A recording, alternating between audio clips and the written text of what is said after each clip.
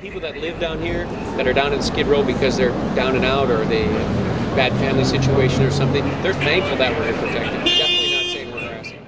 Yeah, well, see, I thought when they got this, they, when they said they was going to build up the uh, gang, I mean the uh, police units, I thought they were going to do something and deploy some of those police officers to the gang unit.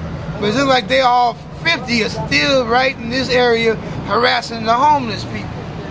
You know, bothering us. You know, harassing us every day.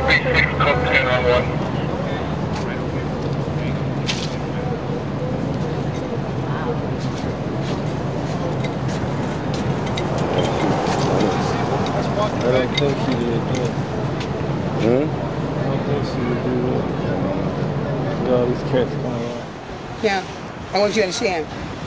When I, before I was arrested, I was at the Russ Hotel. I had my own room. I was waiting for my license. And waiting for this building down here. Get started and put my all my. They were supposed to get my merchandise and put right here in this warehouse. I had everything going for me. I, came up with then, this because I was arrested for sitting on this crate, which I think they could have they could have uh, OR'd me or what. They know I had my own place. I lost my room. I lost everything I owned. It was in there. All my expensive things. I lost all of that.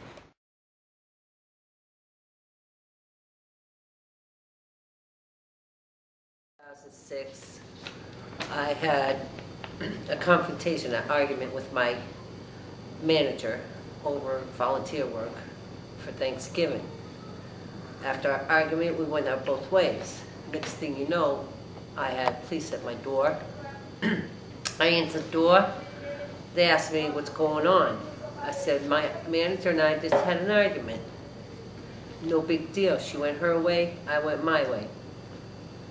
After that, um, they asked me, what, where's the knife? I said, what knife? There's no knife involved. They said, step out. I said, wait a minute, let me get my license.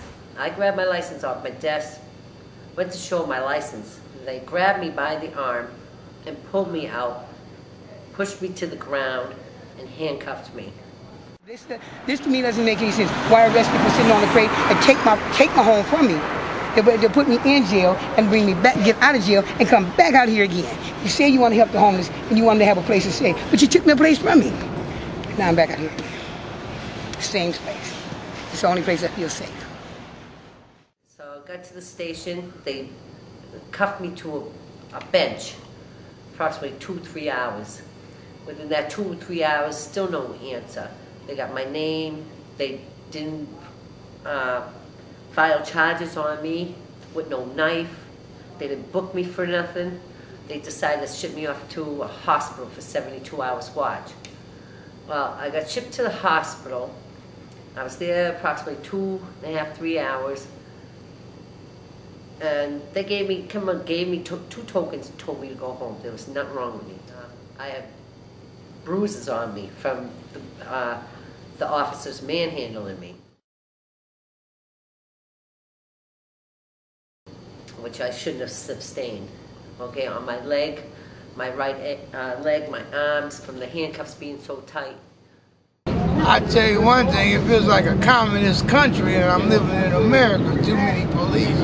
Police stopping you and, they, the jackers is the police. The police is a danger. The way they, you know, their procedures of just jumping out, just jumping out the car and just, just you know, searching you, going in your clothes. You feel, you feel like you're in a communist country. You can't do that no more. The legal system is for the rich and not the poor. If you have no money to get you an attorney that can swindle and deal and, man, and fandangle, you got nothing coming. A person such as myself, where I can't, I have to take take uh, uh, um, cases that's not even mine. I have to take this stuff. It's not even mine. Oh well, if, if, if I can't fight it, what can I do? I ain't got no money to fight it. If I had a little money to fight it, they wouldn't have me in there. I mean, come on, that's a, it's a crate. I leave here every day. I You try leave to, here? yeah, I You try to, I try to go somewhere out of this immediate downtown Skid Row area to get away from the police. I've had to move because of um, this incident. Afraid for my life.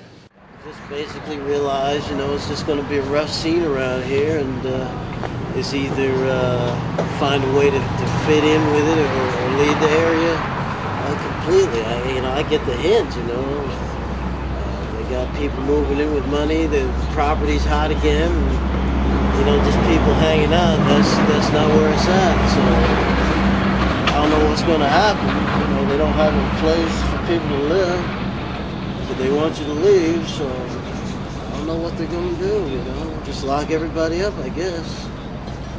Somebody needs to do something. We need help down here. We need relief from these cops doing what they're doing. They sitting up there, and each time they, they got somebody against the wall, they laugh. They enjoying this. They enjoying this. They laughing, talking to each other about what they did last night while they got you handcuffed against the wall. I seen them do that a million times to people. That ain't that ain't this ain't no joke.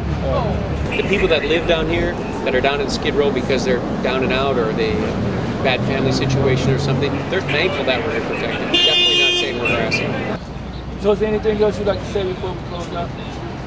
Yeah, it's just that uh, you know, if if anything I said in this film can make it so that uh, you know people don't have to just get locked up and just sitting there and sitting there for no reason at all, then I'm, I'm glad I. Uh,